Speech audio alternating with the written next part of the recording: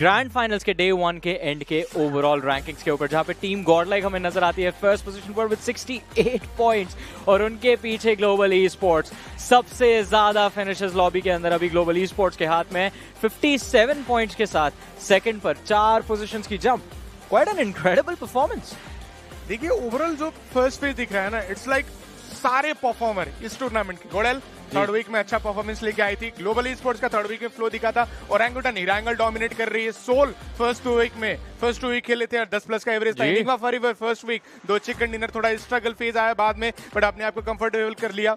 एक्सो सबसे highest point लेके केम इन lately सबसे ज़्यादा डोमिनेट कर रही है। फ़र्स्ट फ़ेज़ ना पूरा जो एक्सपेक्टेड था कहीं ना कहीं वही चल रहे हैं। I am really surprise to see कि ग्लोबल का इतना अच्छा कमबैक आया। Super happy I think Soul का जो आपने बात मेंशन की ना कंसिस्टेंसी 10 प्लस पॉइंट्स पर मैच वो अभी भी मेंटेन करके रखे 44 पॉइंट्स चार मैचेस के बाद 11 पॉइंट्स पर गेम या ऑफ़ कोर्स टीम सोल जैसा हमारा अप्रोच था जैसे उन्होंने दावे किए थे कहीं ना कहीं सच तो आए हैं. बट गॉडलाइक के साथ में सबसे